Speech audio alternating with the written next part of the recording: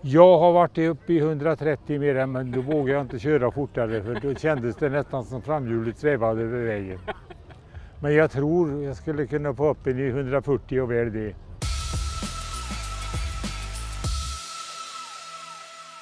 Hallå, hallå! Hallå, hallå! Hur är läget? Det är jättebra. Vi står här i solsken i Trollhättan. Mm. Trollhättans gamla Saabfabrik har vi bakom oss och här är det en motorfestival. Och hit har vi kommit med våra små MC-bilar från MCB-klubben. Ja, det är en stor ära att du har kommit hit. Tackar. Trots att du har en reliant, men du är hjärtligt välkommen i klubben ändå. Vi har alltså fordon upp till tre hjul, eller med tre hjul, eller fyrhjuliga småbilar då, typ som eh, Vespa här. Den är ju på 400 och vi har en gräns på 425 kubik. Men vi har även gjort ett undantag för BMW 600, den som står där. För den liknar i sättan så mycket, så den får vara med.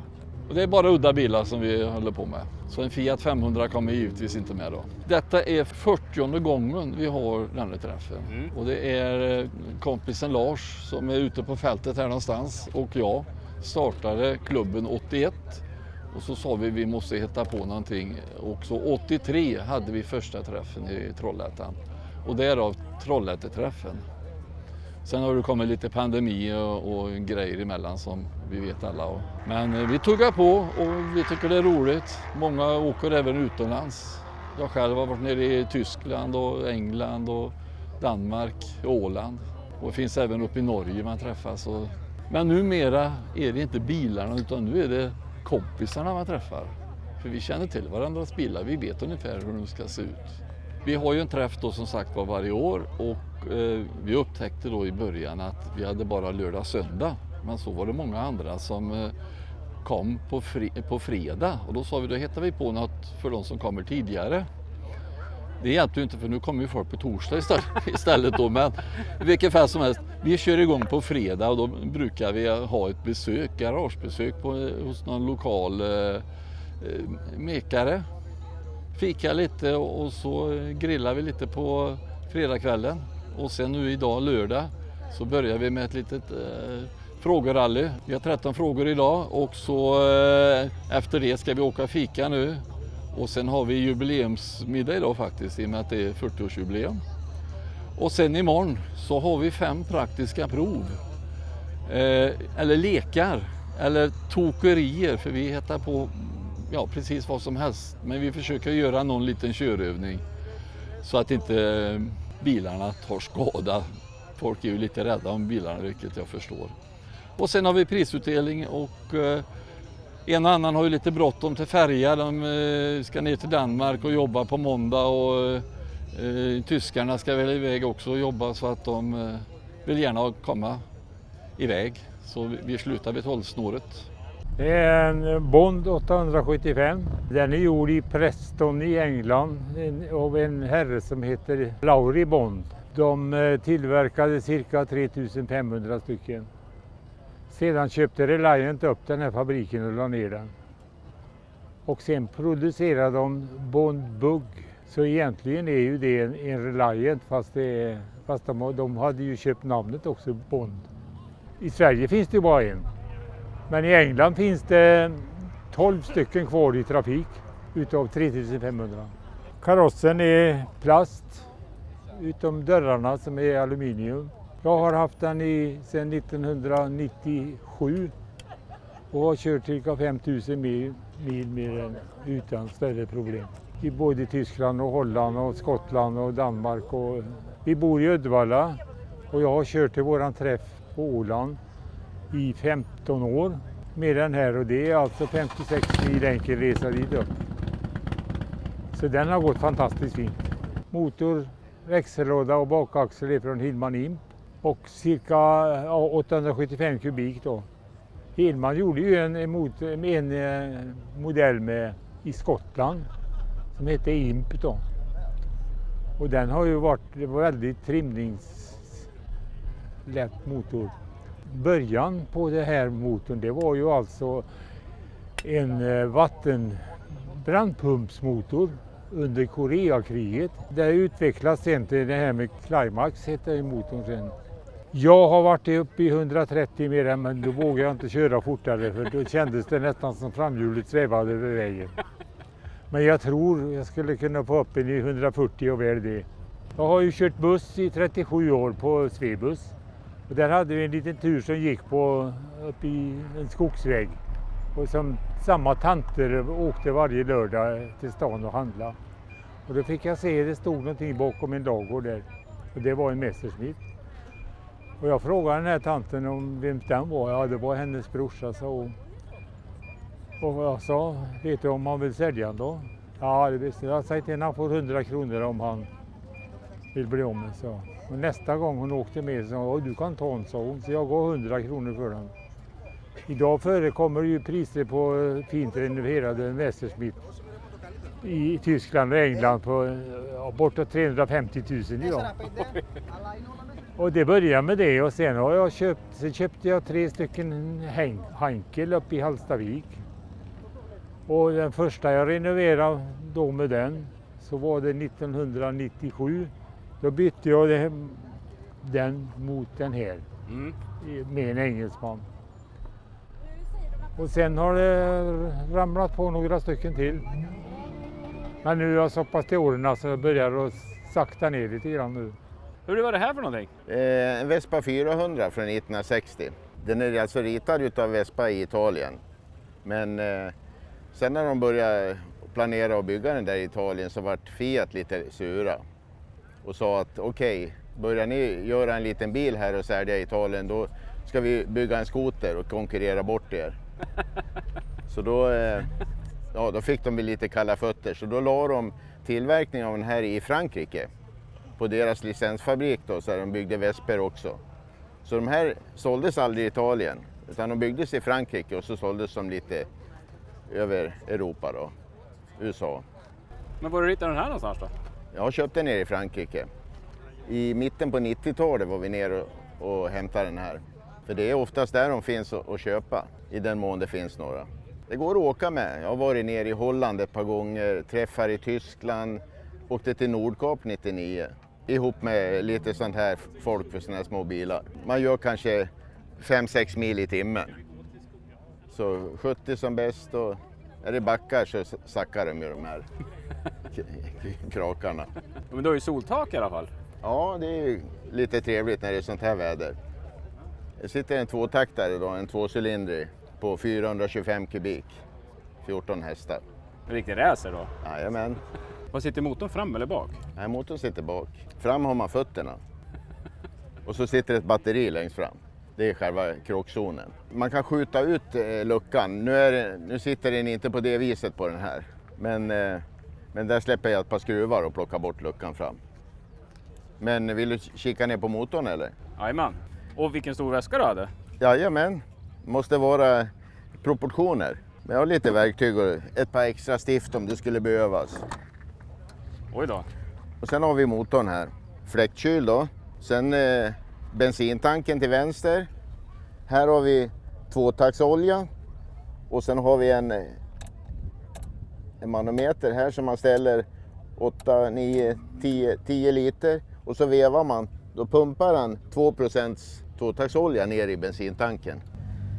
Det är ju smart. Och så tankar man 10 liter. Då har man fått rätt blandning. Jag tankar ju med 15 ungefär. Vad kan han dra? 07 drar han säkert. Motorerna får ju gå, jobba ganska mycket. De är inte så snåla som man skulle kunna tro.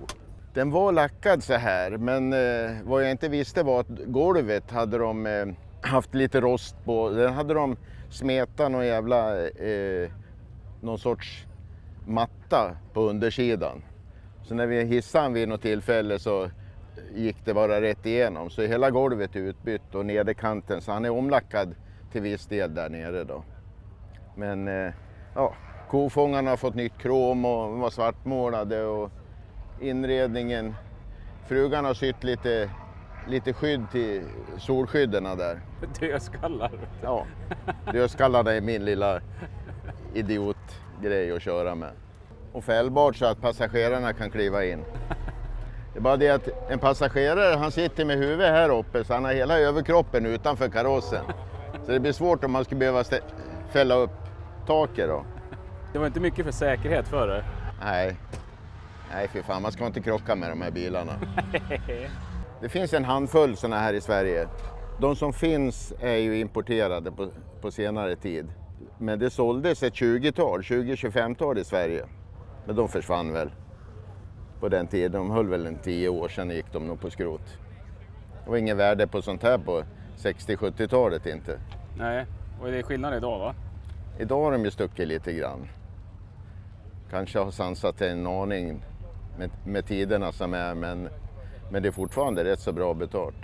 Ja, det är en BMW Isetta från 1956. 250 kubikare encylindrig BMWs motor på 12 hästkrafter. Den tillverkades mellan, eh, just den här karossmodellen tillverkades mellan 55 och eh, mitten 57. Sen kom en eh, efterföljare, en, en facelift kan vi säga då. Men det var ett fruktansvärt bra skick på den här.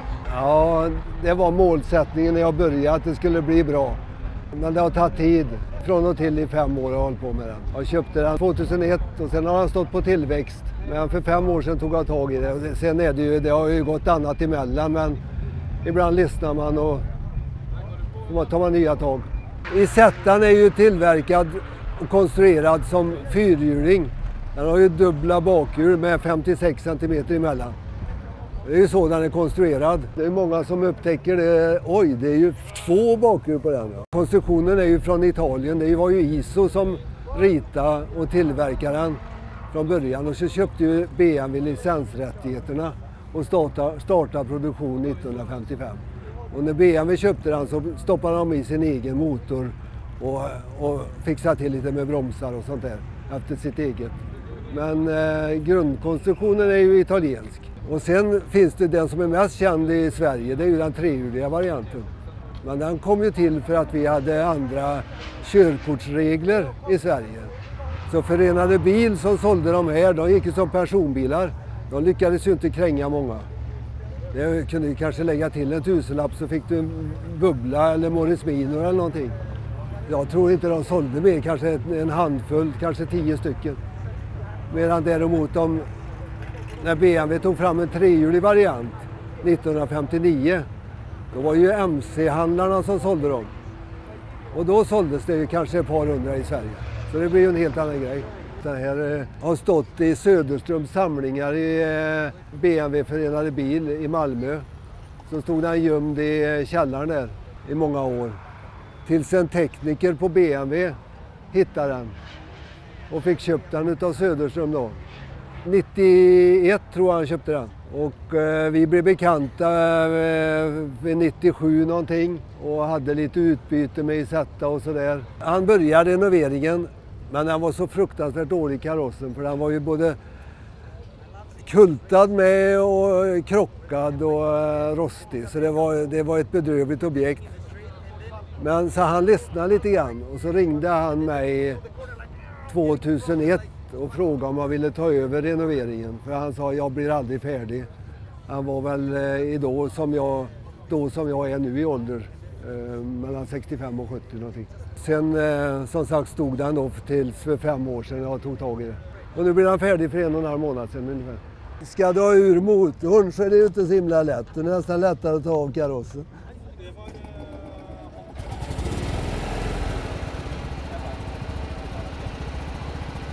Ja, du marschar 75, 75-80 ungefär. Man åker bra två stycken. Jag hade en, eh, en eh, grekisk kille som ville åka med mig från eh, våran träffpunkt då, i Vänersborg. Han åkte med hit och han var helt fascinerad. Det går jättebra. Tyst och fint går det. Jag kan inte svära på att kulören är hundra.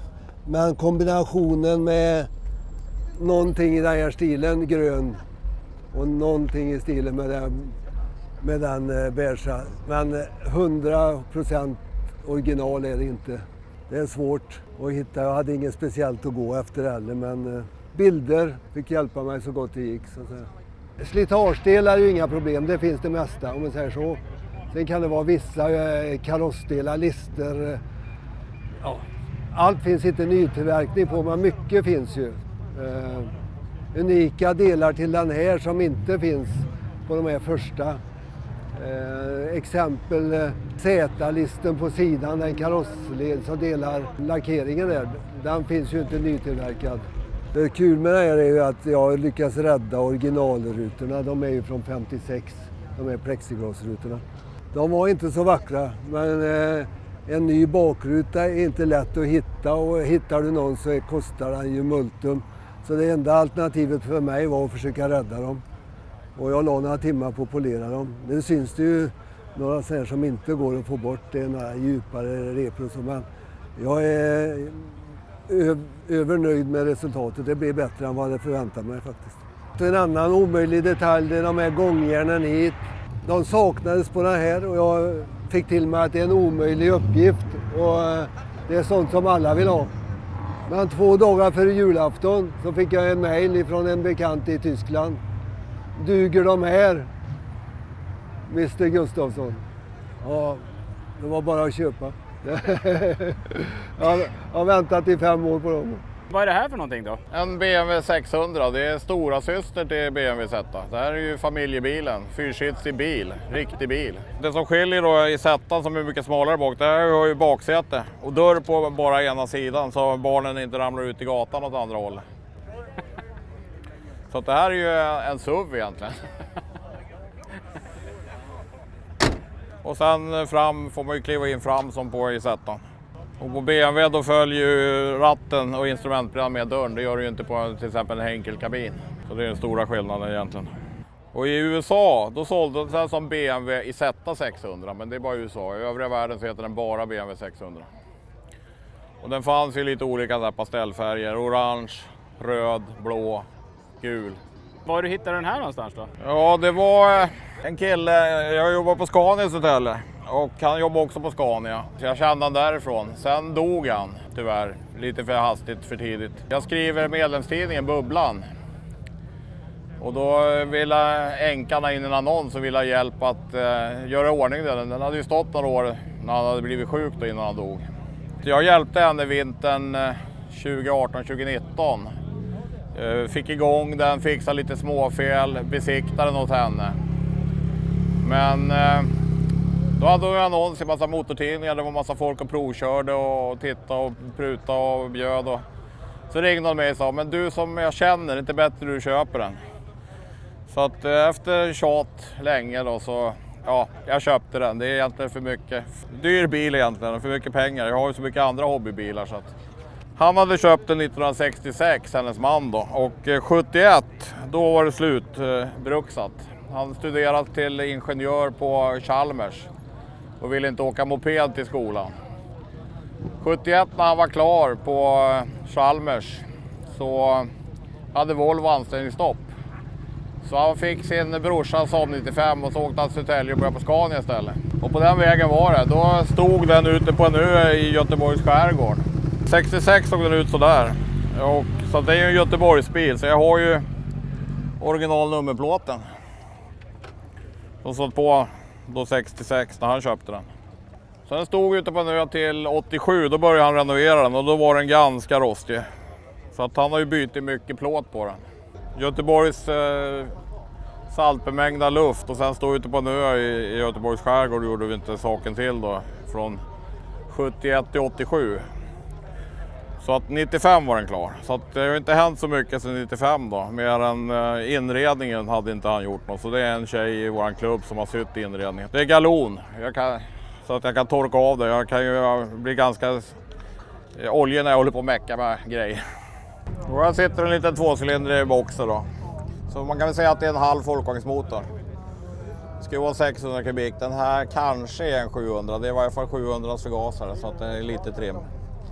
Original 19,5 hästar och är den 700 så är det väl 30 hästar. Ja, det är ju Dyna-start på den. Det är ju ingen vanlig startmotorgenerator utan det sitter ju magneter där. Jag bytte kol i fjol på den.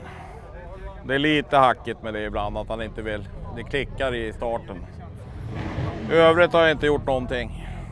I princip är ju grundmotorn samma som gamla polismotorcyklarna så att det är ju ganska driftsäkra grejer. Och reservhjulet sitter ju bak på den där och det är ju inte original. Den ska sitta i framdörren men blir dörren så tung att öppna.